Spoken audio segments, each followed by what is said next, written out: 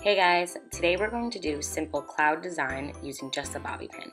I start out with two coats of Provocative by Formula X as my base color, and I'm going in with white nail polish and a bobby pin.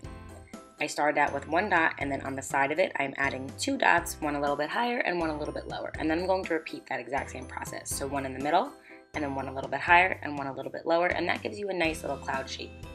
Then I'm going to go ahead and just do that same thing in different spots of my nails to make a cute little pattern. Depending on your nail length, you might do less clouds. Depending on your skill level, you might want to make them bigger. It is obviously easier to do less things that are bigger than to do more that are smaller. And I like to do these tutorials with a bobby pin because if you're just getting started in nail art and you didn't invest in any tools yet or don't really know what you need, I think it's nice to be able to use things that are just around your house so you can still practice. And my little trick for doing dots, whether it's with a bobby pin or with a dotting tool, you want to get a lot of nail polish on the tool. So you want a really generous amount and then you want to very lightly make contact with the nail.